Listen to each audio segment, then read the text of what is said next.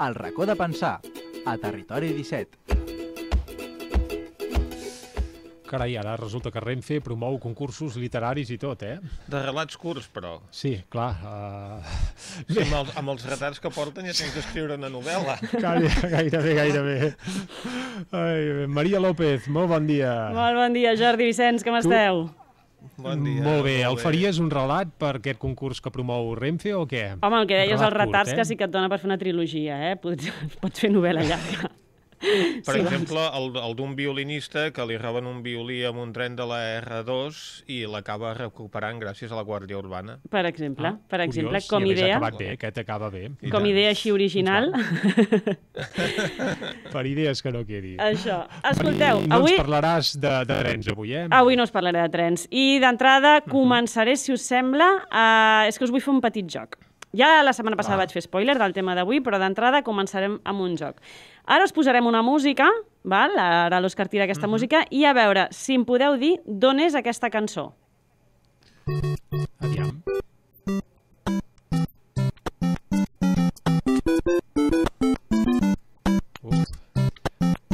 Això sona a joc d'ordinador de, dels anys 80, eh? Però no em sabeu dir el Això És nom? un videojoc d'arcade o alguna cosa així. Quin desastre, no em sabeu dir el nom? Qui... No. Uh, es nota que no som gaire... Us acabeu de delatar- Jocs, eh? Us acabeu de delatar com a zero aficionats dels videojocs i, de fet, tinc tres persones aquí a l'estudi que em van fer mal cap com dient, per favor, com no saben això en Joan i en aquests Estan quasi ofesos i no tot, eh? Ara veurem perquè segur que ells ho encerten, però de moment deixeu-me que us expliqui una miqueta de què parlarem avui, perquè evidentment us heu delatat com a zero aficionats als videojocs. Uh, molts de nosaltres, dels que ara ens toca educar els més petits, de fet, vam ser els primers en patir aquesta gran febre. Però no ens enganyem, les coses han canviat moltíssim. I no només parlo de la qualitat dels videojocs, des de que era aquest que encara no us he dit eh, de quin videojoc era, eh, la cosa ha evolucionat moltíssim. No parlo només del disseny, sinó del ventall, de l'oferta, del tipus i de la tendència més o menys violenta, que d'això també en parlarem avui, més marcada pel que fa als jocs. I també vull parlar de les hores que s'hi dediquen als videojocs. Mireu, l'Associació Espanyola de Videojocs xifra en més de 3 milions els nens menors de 14 anys que hi juguen, que representen el 19% del total de gamers espanyols. Segons una anàlisi elaborat per Custodio, que és una empresa que es dedica al, al control, al tema del control parental amb les noves tecnologies, en un top 10 amb els jocs més populars entre els menors espanyols, el 80% tenen la violència com a denominador comú. Mira, us diré uns quants. Brawl Stars, Fortnite i Roblox ocupen els primers llocs del rànquing, per davant d'un Pokémon GO, per exemple, o un FIFA. Els dos únics jocs no violents d'aquesta llista de 10. De tots aquests, Fortnite es corona com el joc al qual més temps juguen els menors espanyols, amb 99 minuts diaris de mitja. Parlem d'un- joc al qual juguen el 60% dels infants entre 8 i 11 anys, molt peques. En 8 i, entre aquesta edat ja tenen un 60% dels nens que saben perfectament de què parlem quan parlem de Fortnite. I recordem que parlem d'un joc amb violència explícita. Tot això que us estic dient, a més a més, són dades de l'any 2019. Dades de quan els infants passaven el dia a l'escola i a la tarda fent extraescolars. Què penseu que ha passat durant la pandèmia? Les hores d'exposició a les pantalles han augmentat dràsticament. Directament, entre els dies, així com a dades, eh, entre els dies 1 i 31 de març del 2020, primers dies de pandèmia, les vendes de PlayStation van créixer un 158% i les de Nintendo un 139% a nivell mundial. O sigui, mares i pares del món ja pensant tots com m'ho faig per teletreballar amb aquests a casa. Solució, la Play. D'altra banda, la unitat d'addiccions eh, comportamentals de l'Hospital de Bellvitge alerta que es tracta d'un fenomen creixent i preocupant i estudis recents alerten que el 3% de la població té una addicció greu. 3% de la població és molta població, amb una addicció als videojocs. I ara que ja tenim tots els, les mans al cap i ens estem allò com dient mare meva no ens hem ficat, recordem Uh, quants nens i nenes no jugàvem a guerres i a pirates quan érem petits, simulant violència en estat, en estat pur, sense que ningú li semblés que tots acabaríem sent pirates o fent la guerra allà on anéssim. Era com una cosa normal. Tampoc ningú comptava quant de temps dedicàvem a aquest joc, quant de temps dedicàvem a l'oci. Ningú ens feia mitges de minutatges de quant de temps passàvem jugant a la guerra. Uh, D'alguna manera, hi ha una, aquesta sensació de que els jocs eh, i els videojocs de manera eh, més violents, diguéssim, se'ls ha posat també aquest eh, rol o aquesta etiqueta de la cosa més perjudicial del món. És o no és perjudicial? Són tots els jocs aptes per totes les edats? Generen els jocs violents actituds violentes? eh, fomenten, que a vegades també s'ha parlat molt d'això, actituds antisocials, o al contrari, és la manera actual d'integrar-se amb la resta de companys. Com podem detectar, sobretot quan el tema ha passat de ser una distracció a una addicció? Moltes preguntes sobre la taula i per respondre-les i comentar-les comptem amb super, tres superconvidats, i una, bueno, dos superconvidats i una superconvidada. Tenim a la Mariona Graner, ella és bimara i professora investigadora a Educació i a Comunicació Audiovisual de la Universitat de Barcelona. Bon dia, Mariona. Bon dia. De fet, ja ens va visitar en el seu moment la Mariona per sí. parlar de pantalles i adolescència, o sigui que avui tenim com segundo assalto, eh? Tenim també en Joan Cuc, ell és graduat en disseny i producció de videojocs i ens pot explicar moltes coses d'aquest procés i de la gran indústria del videojoc. Bon dia, Joan. Bon dia. I contem també avui amb l'Aaron Bansar, és el nostre company tècnic que fa les pràctiques amb nosaltres aquí a la ràdio, però abans és el nostre gamer per excel·lència a Ràdio Cardedeu i si algú domina de videojocs i de tendències és ell. Gràcies, Aaron, per estar amb nosaltres. Bon dia. Doncs escolteu, començo amb una de les preguntes que, que llançàvem d'entrada. No sé si penseu i esteu d'acord en que són tots els videojocs aptes per tothom? Perquè estem parlant que un Fortnite, que és un joc en principi amb la base has d'anar matant gent, hi ha un 60% de nens entre 8 i 11 anys, que són petits. Eh, és igual, no passa res, es pot mm, diferenciar perfectament, generen conductes mm, violentes. Mariona, com a experta... Comença tu. Què és el que nosaltres sabem ara dels videojocs? I en concret està molt bé que, que comentem sobre, per exemple, Fortnite, perquè és un, un exemple molt, molt potent. Eh? Juguen molts infants al Fortnite, és veritat. El que sabem, o el que sempre havíem pensat, era que realment els videojocs mm, no està demostrat que potenciïn la intel·ligència a nivell general, però sí que està demostrat empíricament que realment doncs, ens, ens permeten potenciar moltes habilitats diferents. I fins ara, molt, molt sovint pensàvem que no tots els videojocs tenen aquesta qualitat, o no amb tots els videojocs podíem aprendre. No? Però les últimes recerques ens demostren que els videojocs ens desenvolupen algunes habilitats, com són la percepció visual i la, i la, la relació motor-visual, que ajuden en, moltes, en molts moments de la vida. Per exemple, Fortnite és un exemple molt important molts infants hi juguen, també molt joves. Pensem que hem dit que el 14% són menors de 15 anys, no? Sí, però de... vol sí, dir sí. que tota la 14, resta són més, més, més grans, eh? Mm. I, de fet, el gran públic dels videojocs són adults. El fet d'utilitzar aquest tipus de jocs, que a vegades són jocs pensats per matar, fa que els infants desenvolupin algunes habilitats importants, com aquesta mm, percepció visió-motor que estàvem dient, però, a més, hi ha altres eh, qüestions importants, com és tot el que fa referència al raonament, a la presa de decisions, a vegades ràpida, no? a vegades amb temps per pensar, però a vegades ràpida, a l'haver d'autoritzar diferents variables simultàniament per poder arribar als teus objectius, a aprendre a rectificar, a aprendre dels errors, no? I aquests processos d'aprenentatge ens ajuden a desenvolupar competències que són molt importants al llarg de tota la nostra vida. Per tant, eh, Cal que els infants juguin a videojocs? Doncs sí, i els adults també estaria bé que juguéssim. Eh, és dolent? Bé, és dolent en una mesura. Hi ha, sí que hi ha uh, moments d'alarma que haurien d'estar a la guait els pares.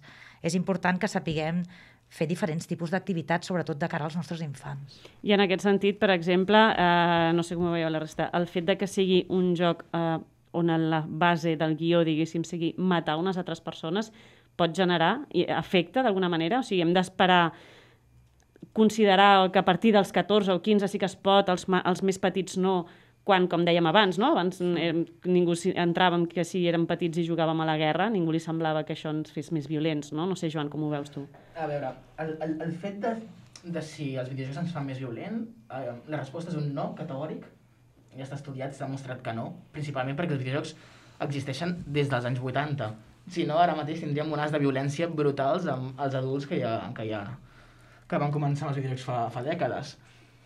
Um, si són aptes um, i quins infants, a partir de quina edat, depèn de quins jocs, hi han tantes variables, és com mirar una pel·li de por. Si hi ha els pares allà pues, amb l'infant acompanyant, um, si els pares també s'informen de quin joc juguen... Um, clar, aleshores, el el límit canvia molt i també de l'infant, um, si li agrada o si no, quin tipus... És que és tantes variables que jo crec que també és interessant veure el, um, les empreses per quin, per quin target, o sigui, per quin públic busquen. Perquè, òbviament, les empreses diuen vale, doncs aquest, aquest joc, el nou joc és per una edat de joves o per infants, o és potser per adults. Hi ha molts jocs enfocats cap a adults. I aleshores potser aquí podríem veure si són més o menys aptes. Però això, ja dic, això de ser el pare o la mare que, que, se sap, que vegin el joc, vegin el seu fill, que el coneixen i diguin vale, a veure, relaxem, deixa de jugar aquest joc, però potser prova aquest altre...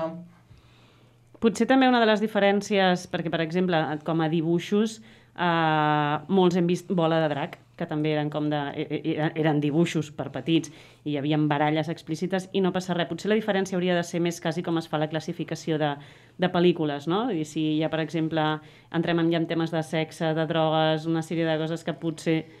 Sí, Ah, sí. En, en, en un bola de drac sí que podien quedar més diluïdes, tot i que sí que hi havia coses que també era molt, molt de, s'han de debatre molt, però potser aquesta diferenciació quasi com de pel·lícula, no? Aaron, així d'entrada, tinc una pregunta que encara no havíem resolt. De quin videojoc era la cançó de l'inici de la intro? Ah, Super Mario Bros. I a més ens hem portat a, a, to- aquí, a les mans del cap, Jordi Vicenç, per allò de... No, no sabien que era Super Mario, Encara perquè no és més, és És més que- clàssic, és que, eh? És un clàssic dels No, no hi nosaltres, aquestes coses, com s'ha pogut demostrar. Aaron, tu a quins jugues tu actualment? Ara, sobretot, estic jugant bastant a la NBA. Ara m'estic aficionant una miqueta al bàsquet. Però generalment jugo NBA, FIFA, Fortnite, també jugo. Vaig variant, depèn...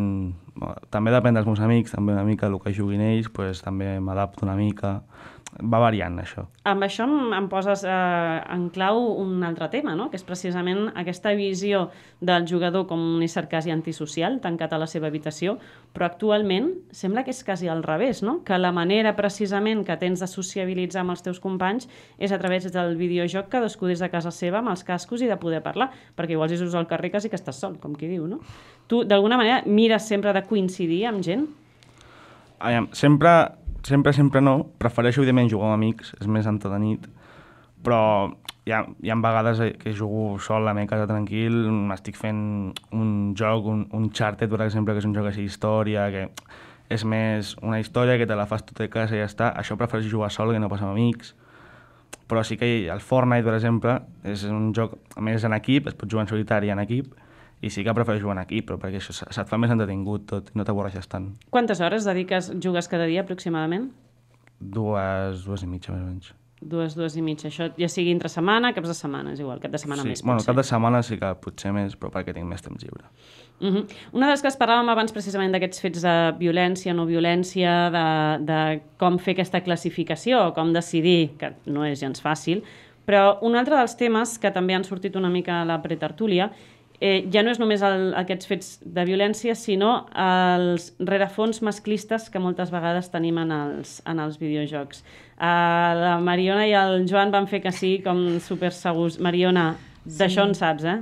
No, hem mirat una miqueta, sí, hem estem estudiant, eh, sobretot quan veiem a què juguen els infants i els joves, no? Però sí que és veritat que els sistemes de classificació actual de videojocs específicament segueixen diferents, hi ha diferents estils, però el que està més utilitzat és PEGI, o PEGI, no sé com es pronuncia, pronunciaria, però es basa en classificar-los només basats en els continguts i, i sobretot en continguts dolents, és a dir, hi ha drogues o no hi ha drogues, hi ha sexe o no hi ha sexe, hi ha paraules eh, dolentes o no hi ha paraules dolentes, no? en paraulotes. I això no és un, un bon sistema de classificació, deixa fora moltes coses. No? Aleshores, els pares també a vegades simplement veuen doncs, pegui 3, pegui el que sigui, i ho compren pensant doncs, que és un bon joc.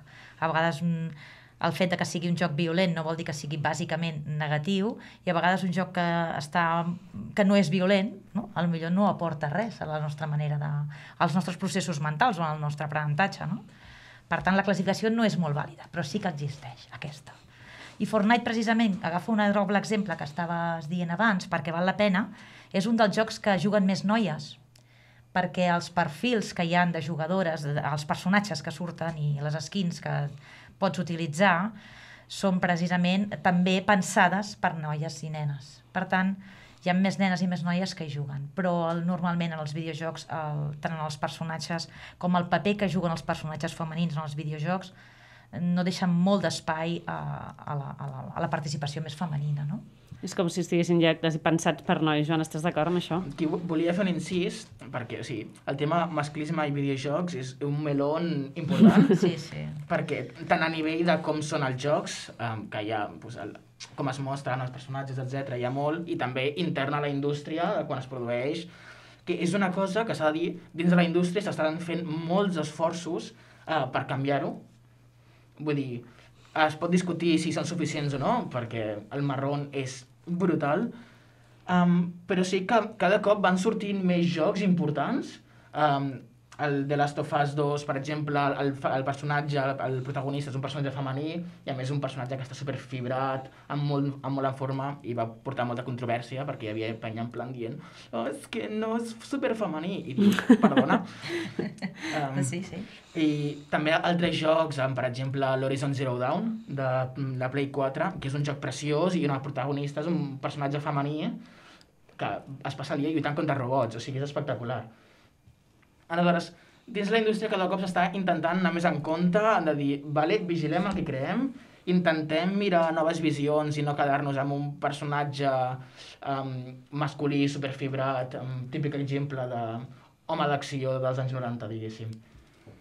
Aleshores, Sí, sí, quan, les, quan això sigui una miqueta més normalitzat, jo crec que les noies tindran un altre paper com a jugadores i com a crítiques de videojocs i, i també es promocionarà també que aquestes noies entrin en la indústria com a creadores de videojocs. No? Jo recordo, de fet, un dels 90 i pico, l'Street Fighter 2, aquest jo havia jugat, i de tots els jugadors de les baralles, de les tornejos de lluita que hi havien, tots eren nois, menys, menys una, que era la Chun-Li, que era l'única guerrera allà fent les lluites, però a més, quan jo jugava amb els meus germans és com que es donava per fet que jo havia d'agafar el personatge femení, perquè com ets una noia has d'agafar el personatge femení, Clar. no? I, I això també crec que és una cosa que ha anat canviant. Aaron, en el vostre cas, per exemple, quan mireu de quedar amb diferents eh, companys per jugar, hi ha noies amb aquest grup? Eh, no. Tot no. nois, eh? Sí. Sí que, bueno, tinc, tinc una amiga, que és l'única que conec que juga, juga al Fortnite, és, bueno, és, és el que han dit, que és el joc que més noies juguen, però en el grup d'amics normal i corrent que juguem cada dia i tal, no, no hi ha cap noia. La majoria... Bueno, és el que dèiem, Els aquesta tendència, també, no? eh? juguen nois, nois Tot, amb nois. tot grup de nois, eh? això en, en, en l'edat juvenil, diguéssim. En... S'ha de dir que hi ha un percentatge de, de dones jugadores enorme, de més del 40% del global de jugadors del món, que són dones, perquè tot l'espectre de dones adultes de, de 40-60, diguéssim, és enorme. Um, jocs de mòbil com Candy Crush i així, és, és brutal quin, quina retenció de dones agafen. Però, a més a més, és un perfil amb un poder adqui- adquisitiu que segurament el perfil més juvenil no té, no? Exacte. En, en general, el perfil més juvenil tendeix a utilitzar més... Bueno, té temps, pot esperar, que en molts jocs utilitzen la tècnica de oh, has d'esperar, o de mirar vídeos que donen premis, i en el cas de, pues sí, el públic adult de 40-60 que té el poder adquisitiu per gastar-se diners, ja sigui masculí o femení, és igual. A la introducció del programa havies donat unes dades, però eren dades de l'any 2019, abans d'una pandèmia mundial, i on el temps eh, que es dedicava o que hi havia per aquestes coses potser no era tant. I de cop arriba una pandèmia mundial. Què ens passa, Mariona, a casa, quan ens trobem en aquesta situació? No, sí que, de fet, ens ha passat a totes les cases que els nostres infants estan a casa i els hi estem deixant molt de temps amb la pantalla, no? I els adolescents també.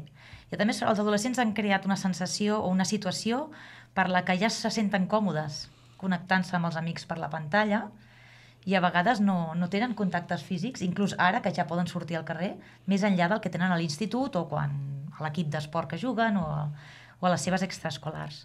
I encara ara els estem retenint molt a casa, que no poden sortir, que tenim unes hores no, de tornada a casa determinades, que no podem sortir del poble o del barri, i es manté aquesta idea, aquesta sensació de que els nens poden estar més estona a casa. Què fan a casa? Pantalles. Aleshores, què hem de fer les famílies? Doncs simplement hem de gestionar d'una forma més saludable les pantalles a casa, que no és dolent fer servir eh, pantalles. I sempre, per descomptat, abans jo proposaria jugar amb un videojoc que està assegut mirant vídeos de YouTube o de youtubers, especialment, inclús que veure pel·lícules, no? Fer que el nostre cervell estigui actiu sempre serà una bona opció. Ara gestionem-ho d'una forma que sigui responsable i educativa. Aaron, de, tu com a exemple, com a gamer, vas canviar molt la quantitat d'hores que jugaves durant la pandèmia? Sí, sí, perquè... Bueno, sí, jo, jo, jo normalment sí, sempre surto, sempre quedo amb els amics i tal. I, clar, et veus en un moment de... Va, estàs, a, estàs la tarda, te'n vas a jugar a futbol o vas a donar un vol amb els amics, llavors, a cop i volta, et tanquen a tu casa, tens que estar a les 24 hores a casa, doncs sí que les hores de, de jugar augmenten i tot. I, clar, al no anar a l'institut i tot, jo, jo sé d'amics, de, bueno, sent de la meva classe, que mentre fèiem les classes online, tenien allà la classe i jugaven a la Play, a la classe de fondo, saps? I sí, sí, les hores van augmentar molt. Com detectem, això us ho pregunto una mica als tres, o com penseu que podem detectar quan això ha passat a ser ja una, una addicció, i estem parlant d'una malaltia quasi, no? de no poder deixar de jugar o no poder parar en tot el dia. Joan, tu com creus que podem distingir-ho? Bé, és que aquí... Clar, tampoc sóc psicòleg, no, no estic especialitzant en això, perquè ens comenten més a vegades el, el límit o el, els punts de detecció acostumat, com en qualsevol addicció. Quan suplantes coses importants de la teva vida o coses necessàries um, per, per continuar jugant, diguéssim, en plan, pues, deixo de menjar perquè estic jugant o, o retardo molt les coses i això, passes potser 20 hores a l'ordinador o deixo hores de son, que això és, és el clàssic, en plan, em desperto a les 5 de la matinada perquè sé que és el millor horari per jugar amb cert, amb, amb els servidors a l'altra punta del món i dormo 3 hores al dia o alguna cosa així, alerta. Quan, quan hi ha canvis importants al comportament. Però clar, és, és com molt difús el, el límit d'en plan, i més en aquests temps de pandèmia que pots passar 10 hores al dia a l'ordenador um, tranquil·lament sense que sigui addicció com a tal, però és que és perquè és l'única eina que tens. Mariona. Sí, sí, els experts ens diuen que hem d'estar a la guait, o les famílies, no? Estiguem, tinguem alertes quan els nostres infants, els nostres joves, els nostres adolescents eh, tenen problemes ja anteriorment. Vull dir, i això és molt important, els videojocs o l'ús de xarxes socials o l'ús de moltes pantalles no és normalment la causa d'una un, addicció, sinó que pot ser una conseqüència d'una persona que ja tingui dificultats de relació amb els altres. Estiguem alerta de si realment els nostres joves o infants no tenen amics o no surten amb els amics. Doncs amb aquestes reflexions eh, de la Mariona acabem el racó de pensar d'avui. Ja sabeu, no cal demonitzar els videojocs, el que cal és acompanyar, com sempre. Vaja. Uh, ens acomiadem de la tertúlia d'avui, tornem al relleu a Vic. Jordi Vicenç, moltíssimes gràcies. Aaron, Mariona, Joan, moltíssimes gràcies per acompanyar-nos avui, per la vostra aportació i ens quedem amb tot el que ens heu dit. Ara sí, tornem al relleu a Vic. Moltes gràcies i fins dijous vinent. Gràcies. Exacte. Fins dijous que ve, doncs, Maria, uh, dijous sant, per cert, eh? però també també hi serem, també hi serem. Per tant, això, fins dijous que ve, i nosaltres, Vicenç, ara el que hem de fer és enforquillar ja la recta final del programa.